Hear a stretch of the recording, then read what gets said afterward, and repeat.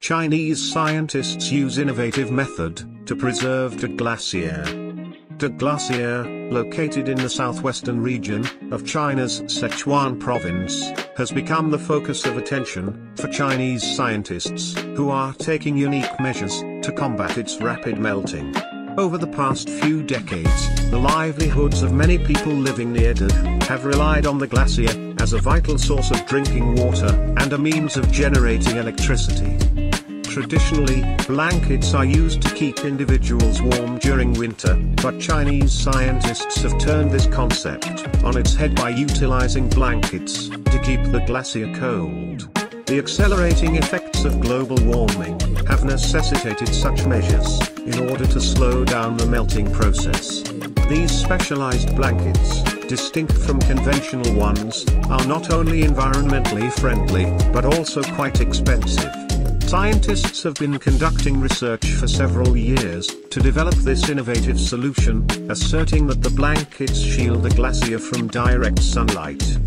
The glacier attracts approximately half a million tourists each year, and the livelihoods of over 2,000 individuals depend on its preservation. Therefore, safeguarding the glacier assumes paramount importance.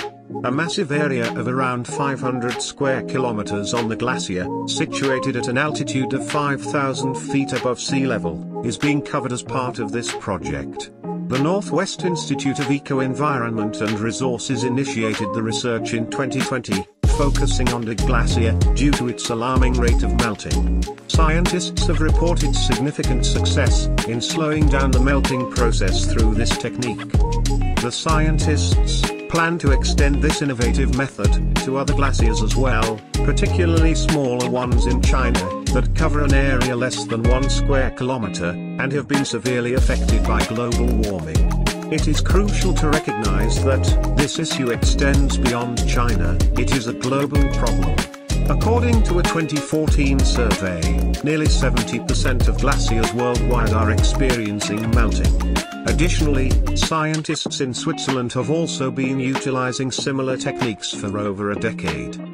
Preserving glaciers has become an urgent priority, and the efforts made by Chinese scientists to protect the glacier are a commendable step towards mitigating the effects of climate change on these vital natural resources.